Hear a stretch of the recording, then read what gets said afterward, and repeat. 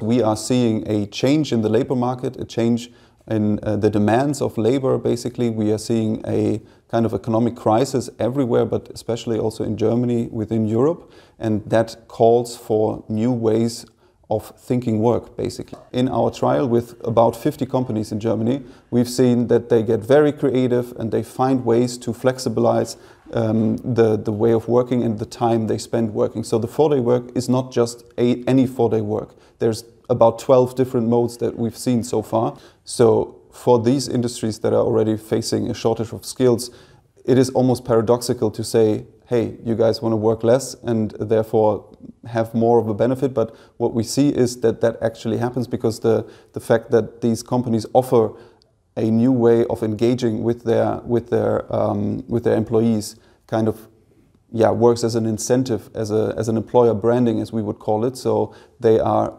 increasing the value of their brand as an employer and therefore they get up to 300% more people applying for their jobs.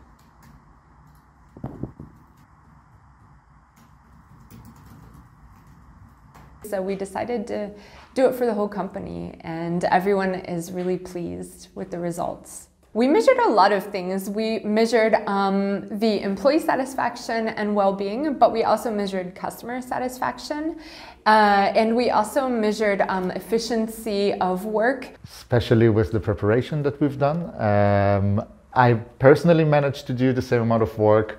Uh, it also required building a system that would make sure that the work will be able to be divided. It won't be necessarily time dependent.